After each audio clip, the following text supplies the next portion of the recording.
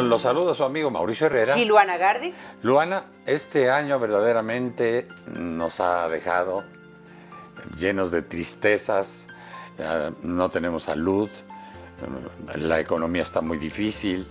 Así es, un año de transformación, el 2020 a nivel global, pero yo creo que todo, todo cambio y toda crisis tiene, una, tiene una enseñanza, Mauricio, y eso es transformarnos como humanidad, ¿no? Transformarnos en el amor para que este 2021 sea maravilloso, lleno de salud y sobre todo de... De vacunas. Así, es, les deseamos un Feliz Año Nuevo. Sí, a nombre de Centro Santa Fe, el mall más completo de México. Pásenla maravilloso. Feliz Año Nuevo.